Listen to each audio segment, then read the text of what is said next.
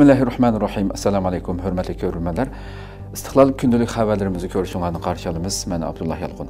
Programmamizda vatanimiz Sharq Turkiston va dunyo kun tartibidagi eng muhim xabarlarni huzuringizga sunamiz. Qaynamsiz diqqatinglar ekranimizda bo'lsin. Xitoy atalmish qaror rezil kuchlarni yo'qotish harakatini yana ta'kidladi. Sharqi turkiston xalqini atalmish terrorga zarba berish asabiylikni yo'qotish qaro razil kuchlarni yo'qotish degan nomlar bilan qirg'in qilib kelayotgan xitoy rejimi 21 iyun 2023 yillik birinchi qatimliq yig'in ichib bu jinoyatlarni qayta ta'kidladi. Аталмыш Шинжан gezitining xabar кылышча 21 iyun tushdan burun atalmish uyg'ur апным райондук qaror razil kuchlarni yo'qotish kurishi rahbarlik группасы 2023 yillik birinchi кытымдык yig'in ochgan bo'lib yig'inga atalmish апным райондук siyosiy qonun комитетинин sekretari vang Мыңшан риясатчылык qilgan. Yig'inda xulosalab 2022 yili qaror razil kuchlarni yo'qotish kurishi bo'yicha dilo bejirishda ilgirlash bo'ldi. Qattiq zarba berish kuchlik bo'lib razil kuchlarni yo'qotish ko'rishida yangi natijalar qo'lga keltirildi deyilgan.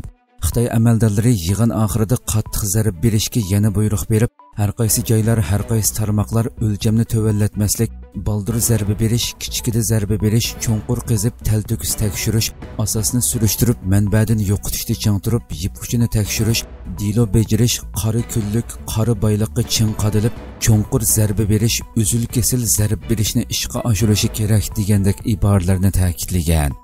Xitoy rejimi ilgari sharqi turkiston xalqini har xil nomlar bilan bostirib kelgan bo'lsa amerikadagi 11 sentabr voqeasidan keyin izgil holda atalmish terrorlikqa zarb berish qora kuchlarga zarba berish asabiylikni yo'qotish qatorliq turli bahonalar bilan sharqi turkiston xalqini kang ko'lamda tutqun qilib bostirib qirg'in qilib kelmoqda. Va bu xil nomlar orqali sharqi turkiston xalqiga qaratgan irqiy qirg'inchilik jinoyatini yoshirishga qonunlashtirishga urinmoqda. Kuzatuvchilar xitoyning turli nomlar bilan sharqi turkistonda terror siyosati yurgizayotganligini bu qatim xitoy rejimining yana atalmish qaror razil kuchlarni yo'qotish gruppasining zarba berish harakatini kuchaytirishni ta'kidlashining amaliyotda sharqi turkiston vaziyatining texmi jiddiylashadiganligidan bostirishning texmi kuchaytirilganligidan derak beradiganligini bildirishmoqda. Bdt xitoyning jinoyatlari haqida qaror chiqardi turkiyada yashayotgan bir qism uyg'urlar advokat guldan so'lmaz xonim orqali xitoy ustidan bdtga sharqi turkiston xalqini sistemalik jazo lageriga qamash qilmishi haqida ariz sungan bo'lib arizni bdtning xohlagancha tutqun qilish ishlari gruppasi tekshirishi orqali xitoyning jinoiy qilmishi haqida qaror chiqargan. Chiqarilgan qarorda uyg'urlar uyg'ur va musulmon bo'lganligi sababli tutqun qilindi. Xitoyning bu qilmishi xohlagancha tutqun qilganlik bo'lib xitoy uyg'urlarning kishilik huquqini sistemalik dafsanda qilyotidi deb atash bilan birga xitoyni xalqaro kishilik huquq kitobnomasining ikkinchi moddasiga xiloflik qildi deb ayblagan. Bildirilishicha bu haqda ariz sunilgandan keyin bdtning xohlagancha tutqun qilish ishlari gruppasi diloga qarab chiqqan va xitoyning o'zini oqlashiga fursat berilgan bo'lib barliq tarafdan qarab chiqilgandan keyin ta'minlangan paketlarga asosan qaror chiqargan. Bu haqda istanbulning zaytinburni rayoni kazli chashma madaniyat markazida axborot e'lon qilish yig'ini echilgan bo'lib yig'inda so'z qilgan advokat guldan so'nmaz xonim bdt qarorining mazmuni va ahamiyatini tunishtirgan u so'zida bdt bu haqda qaror chiqargan ekan lagerlarda ziyonkashlikka uchragan kishilarning qo'yib berilishini talab qilganligini bu qarorga asoslanib lagerlarni qayta tekshirish kerakligini xitoy jinoiy qilmishini e'tirof qilib yig'ib olish lagerlarini darhol taqab tutib turilayotgan kishilarni darhol qo'yib berishi kerakligini bildirgan. Bildirilishicha bdtning xohlagancha tutqun qilish ishlari gruppasi nig'mat hamid tojinsa imin va dilshod o'rolboy qatorliq ziyonkashlikka uchrag'uvchilarning sababsiz tutib turilishi bdt xitobnomasining 3 6 7 va 9 tarmoq moddalariga xilof ekanligini tekshirish orqali ularning tutib turilishining hech qanday qonuniy asosi yo'qligini muayyanlashtirgan xizmat gruppasi yana uch shaxsning ayblashi va sudlanishi to'g'risida hech qanday uchurning yo'qligini ularning odil sudlanishining texmi mumkin emasligini payqagan. Hammadan muhimi xizmat gruppasi yana ziyonkashlikka uchrag'uvchilarning qo'lga ilinishi va tutib turilishining sababi ularning uyg'ur millati va musulmon bo'lganligi ekanligini uyg'urlarning uyg'ur millati bo'lganligi musulmon bo'lganligi uchun xitoy tarafidan kamsitilganligini xitoyning bu qilmishi xalqaro kishilik huquq kitobnomasining ikkinchi moddasiga xilof ekanligini ta'kidlagan. Istanbulda uyg'ur yasliylarining o'qish bitirish marosimi o'tkazildi. 22-23 iyun kunlari istanbulning zaytinburni bilan Floriyada uyg'ur yasliylarining o'qish bitirish marosimi o'tkazildi.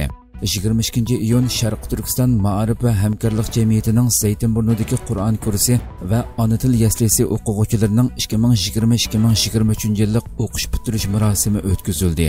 Murosim Istanbulning Zaytinburnu rayonidagi Aqdengiz zalida o'tkazilgan bo'lib, Shalliq Turkiya nomli naqshi bilan boshlanib, Sharq Turkiston va Turkiya davlat marshi o'qilgandan keyin yasli mudiri Xurshida Artish xonim so'z qildi va bir yillik o'qitish ahvoli haqida qisqacha doklad berdi.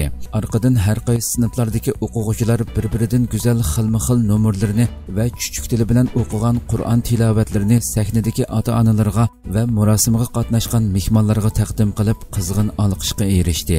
Murosimda o'quvchilarning o'qish hayoti tasvirlangan maxsus film qo'yilgandan keyin ota-onalar o'qituvchilarga minnatdorligini bildirib gul taqdim qilishdi va oxirida o'qish bitirgan barliq o'quvchilarga hadyalar taqdim qilindi xalqaro sharq turkiston tashkilotlar birligi raisi hidoyatullo o'g'izxon sutuqbug'raxon ilm va madaniyat vaqfi muavin raisi umar qarajim nuzugum kultur va oila jamiyati raisi munavvar o'z uyg'ur xonim qatorliqlar bolalarning hadyalarini tarqitib berdi.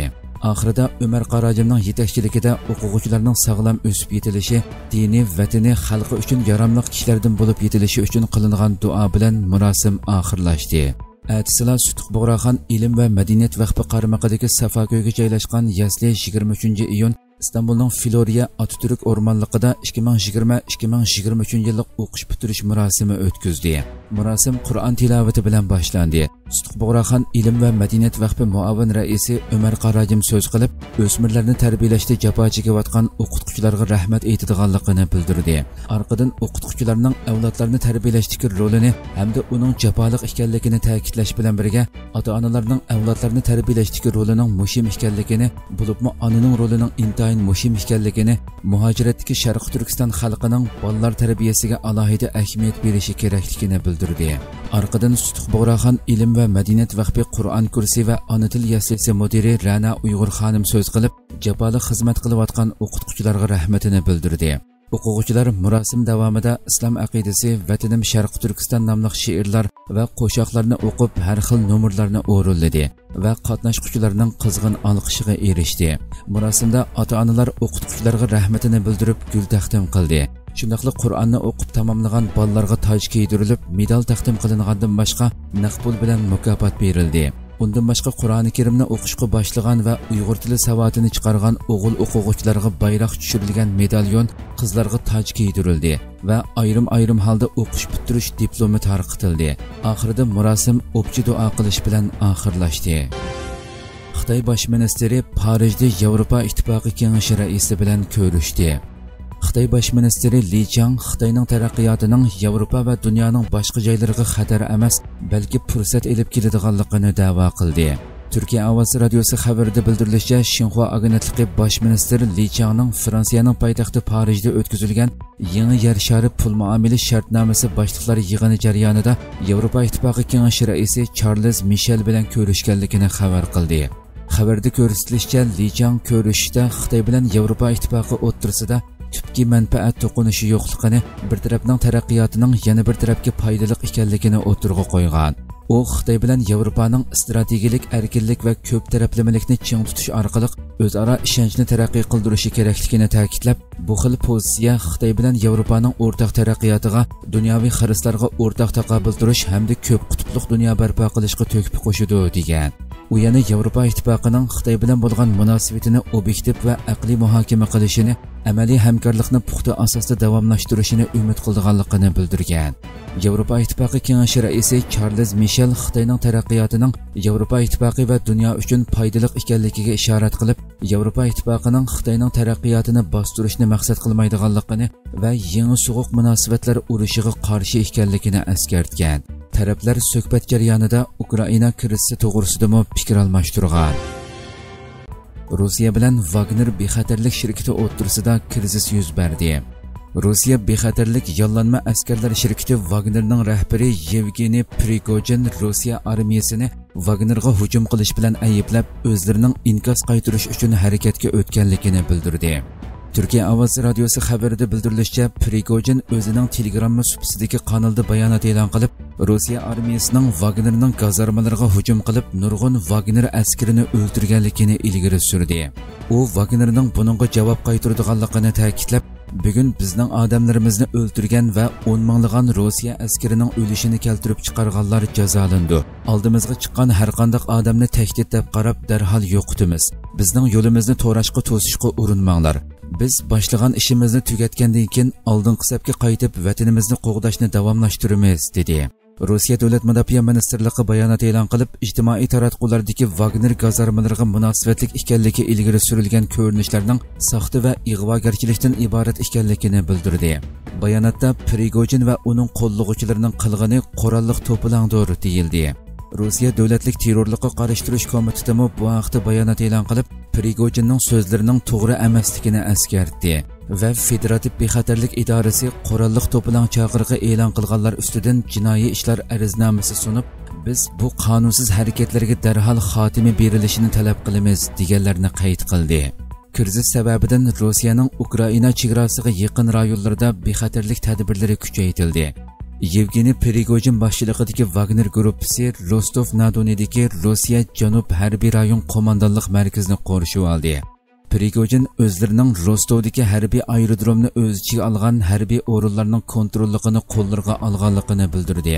Rossiya federativ bexatarlik idorasi vagner a'zolarini xatolik o'tkazmaslikka prigojinning jinoyat xarakteridagi buyruqlarga bo'ysunmay uni darhol nazoratga ilishga chaqirdi. Shunda qilib putinmi bayonot e'lon qilib vagnerning qilmishining uchuq isyon ekanligini ularning intayin qattiq jazolandiganligini bildirdi. Yevropa 11 qatimliq embargo planini tasdiqladi. Yevropa ittifoqiga a'zo davlatlar rossiyaga qaratilgan embargolarga xiloflik qilishning oldini oladigan va qo'shimcha jazolash tadbirlarini o'z ichiga olgan 11 qatimliq embargo planini tasdiqladi. Turkiya ovoz radiosi xabarida bildirilishicha yevropa ittifoqining hozir yurgizilayotgan embargolarni kuchaytirish va bu embargolarga xiloflik qilishning oldini olish uchun tayyorlangan embargo plani bo'yicha cheklash tadbirlaridagi ba'zi qonuniy bo'shliqlar tugatildi ekan. Embargoning atrofidan oyilinib o'tishdan saqlanish uchun uchinchi davlatlar bilan bo'lgan hamkorlik kuchaytirildi ekan. Shundoqli yevropa kengashi rossiyaga uchinchi davlatga avatilishi cheklangan mahsulot va texnikalarni setish ta'minlash yo'tkash yoki eksport qilishni cheklaydi ekan. Rossiyaning harbiy va texnika taraqqiyotiga mudofaasiga yoki bexatarlik sohasiga foydali texmi ko'p mahsulot va texnikalarning yo'tkilishi cheklandi ekan. Osiyo va olam qatnashi mahsulotlari texnikasi shundoqla Yevropa ittifoqidan 3-davlatga eksport qilinadigan reaktiv yiqilg'u va yiqilg'u moddalarimi bu doiraga kiradi ekan. Rossiyaning harbiy va sanoat rayonlarini bevosita qo'llaydigan 87 organ Yevropa ittifoqining jazo tizimligiga kirgizilgan bo'lib, bu tizimlikda Xitoy, O'zbekiston, Arab birlashma xalifaligi, Suriya va Armeniya qatorliq davlatlardagi organlar bilan Rossiyani uchquchilar bilan ta'minlagan Eronning 4 organi bor ekan. Xam nefit va nefit mahsulotlarini to'shiydigan paraxodlarning qaymoqtirish qilmishlarining ko'payishiga qarshi tadbirlarmi kuchaytirildi ekan. Bu ramkada paraxoddan paraxodga neft yo'tkaganlarning yevropa ittifoqi portlariga kelishi cheklandi ekan. Ilgirki embargolarga asosan germaniya bilan polshaning rossiyadan turbi yo'lidan xam neft ta'minotiga berilgan vaqtliq e'tibor muddati to'shidi ekan. Bu davlatlarmi bundan keyin rossiya neftini turbi yo'li orqali setib ololmaydi ekan. embargoga asosan 100 dan ortiq kishi va organlarning mol-mulki to'nglatildi ekan. Hörmətli görmələrimiz, şuna qılıb bugünkü xəbərlərimiz müş yerdə axırlaşdı. Ədik proqramımızı görüşkəcə aman boğayslar. Assalamu alaykum və rahmetullah.